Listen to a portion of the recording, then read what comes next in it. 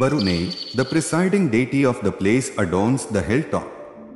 Legend has it that King Ramchandra Dev had built the temple for the goddess. A stream called Swarna Ganga flows down the hill and its water is said to have many medicinal properties. Tourists often come here to bathe in its curative water. This hillock is a popular picnic spot and its proximity to Khurda Fort and many other tourist hotspots has made it a popular stopover for sightseeing. Barunei Hill is also home to a shrine dedicated to goddess Barunei. Legend has it that King Ramchandra Dev had built the temple for the goddess.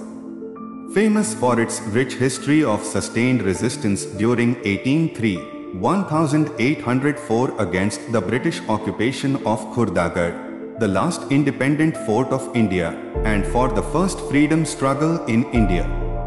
The Paika Bidroha during 1810, 1817, Barunei Hill is also a beautiful tourist spot.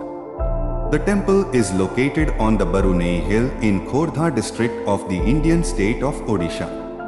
The temple has idols of the twin goddesses Barunei and Karunei in the Sanctum Sanctorum.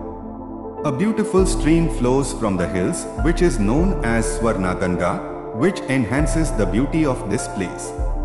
Thank you.